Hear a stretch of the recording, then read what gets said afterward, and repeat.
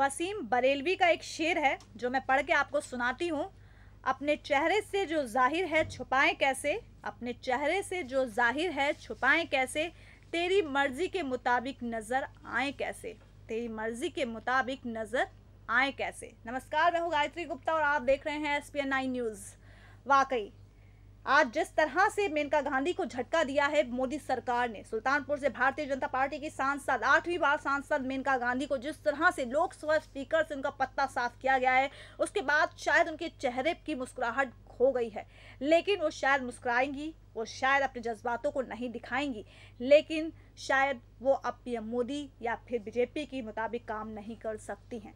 क्योंकि ज़ाहिर सी बात है कि अब बात निकली है तो दूर तलक जाएगी। आज आखिरकार फैसला हो गया कि आखिर कौन बनेगा लोकसभा स्पीकर और राजस्थान की कोटा से सांसद ओम बिरला को ये ज़िम्मेदारी सौंपी गई है, जो तीन बार विधायक और दो बार सांसद भी रह चुके हैं। इसके अलावा वो कई समितियों के सदस्य भी रह चुके हैं।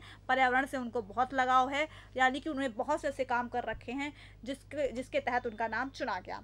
इसके अलावा पीएम मोदी ने एक संदेश ये भी दिया है, ओम बिरला का नाम चुनकर, कि सिर्फ़ और सिर्फ़ अनुभव काम नहीं आता है। इसके अलावा आपके अंदर निपुणता, तत्परता भी होनी चाहिए काम को लेकर। ये नहीं कि सिर्फ़ आपके पास अनुभव है तो उसके आधार पर आपका आकलन नहीं किया जा सकता है। ओम बिरला का सबसे बड़ा उदाहरण है।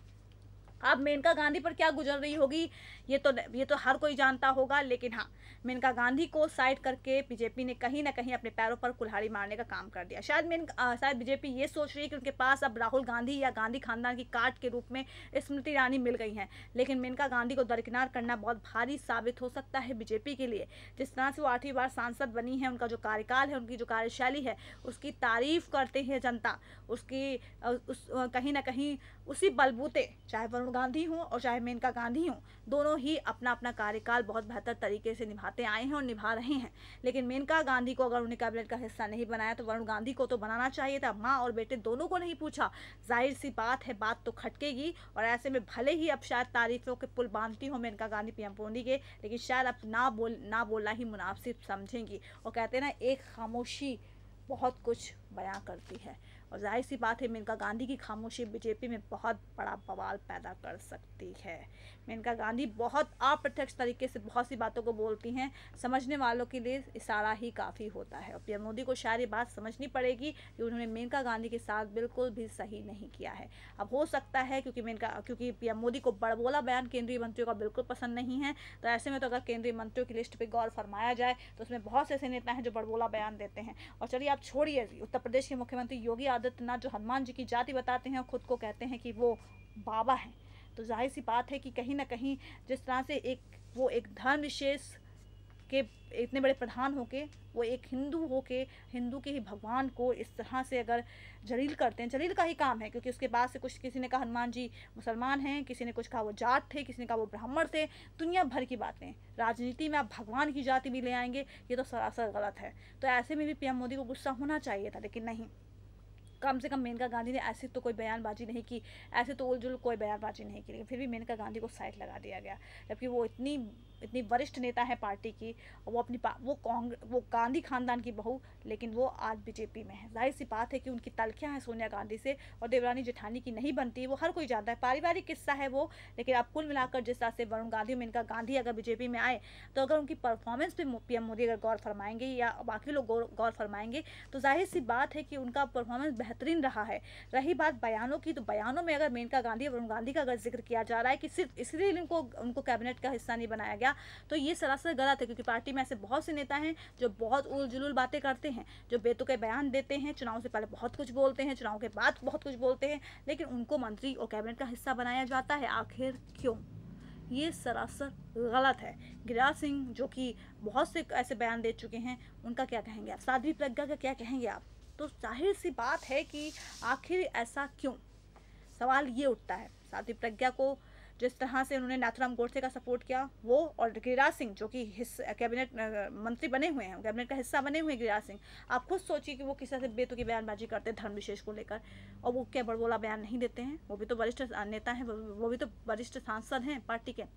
तो फिर इतना मतभेद क्यों मेनका गांधी के साथ? और मेनका गांधी अभी खामोश भले हैं, लेकिन उनकी खामोशी कहीं ना कहीं बीजेपी में सबसे बड़ा उबाल पैदा कर सकती है। और अगर दो सीटें अगर 303 में दो सीटें अगर निकल जाएँ, अगर मेनका गांधी वरुण गांधी की तो ज़ाहिर सी बात है, बीजेपी को अभी कोई घाटा नहीं होगा, क्योंकि अभी उसका वक्त चल रहा है। लेकिन जब उसका वक्त नहीं रहेगा, तब क्या करेगी बीजेपी? तब शायद इन्हीं दो सांसदों के लिए भी शायद दो सीटों से वो हार भी सकती है। तो बहुत बड़ी बात होती है कि आप अपने दो, एक, दो सांसदों को गंवाने का काम कर रहे हैं। जो कि अगर माँ मेनका के साथ जो हुआ है बेटा वरुण गांधी तो बिल्कुल भी शायद बर्दाश्त नहीं करेगा। कोई भी बेटा अपने माँ के साथ इस जाति को बर्दाश्त नहीं कर सकता है, जो कि इस वक्त बीजेपी में मेनका गांधी के साथ नज़र हो आ रहा है होते हुए। तो कुल मिलाकर कहीं ना कहीं मेनका गांधी जिसके साथ जो हुआ है, वाकई सरासर बहुत ज़्यादा गलत हुआ है और बहुत से उनके समर्थकों में नाराज़गी का माहौल है। लगातार हमारे पास खबरें आ रही हैं और समर्थकों ने कहीं ना कहीं गुस्सा ज़ाहिर किया है कि बीजेपी सरकार या मोदी सरकार ने बिल्कुल सही नहीं किया उनकी नेता के साथ। उन्हें एक उम्मीद थी कि कम से कम मेनका गांधी को लोकसभा का स्पीकर तो बनाया जाएगा, लेकिन शायद उनको वो भी नहीं बनाया गया। ज़ाहिर सी बात है कि आखिर ऐसा क्यों है?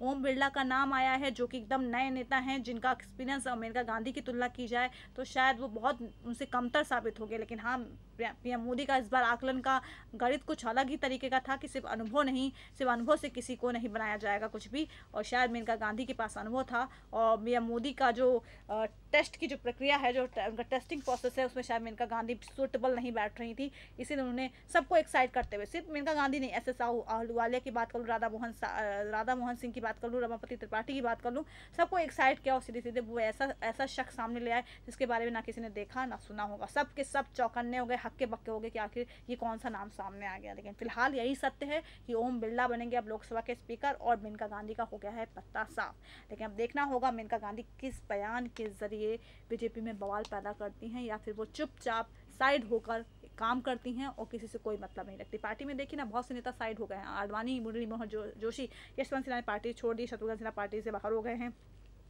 अरुण शौरी का आता, पता नहीं, बहुत से ऐसे नेता हैं जो या तो पार्टी में है तो चुपचाप बैठ के काम कर, चुपचाप रहते हैं, बोलते नहीं हैं। शायद अब वही स्थिति में मेनका गांधी भी आ गई हैं, या तो वो पार्टी छोड़ेंगी, या तो वो पार्टी में बन ही रहेंगी, लेकिन साइड में होकर काम करेंगी, उन्हें किसी से कोई इतफाक कोई भी मतलब नहीं होगा। वो बताओ सांसद सांसद सिर्फ़ जनता की सेवा करेंगे और शायद यही काम अब अरुण गांधी भी करते हुए नज़र आएँगे, क्योंकि जब माँ के साथ इतनी बड़ी जाती हुई तो बेटा कैसे बर्दाश्त कर सकता है? फ़िलहाल अब देखते हैं कि मेनका गांधी का ये जो मसला है, अभी आगे जाके और कितना तूल पकड़ता है, और ये भी देखना दिलचस्प होगा कि क्या कैबिनेट का हिस्सा अब मेनका गांधी को बनाया जाएगा? क्या कोई ऐसा मंत्रालय निकाला जाएगा मेनका गांधी के लिए? या फिर समझ जाएँ कि मेनका गांधी अब बीजेपी में एक साइड हो गई हैं। नमस्कार।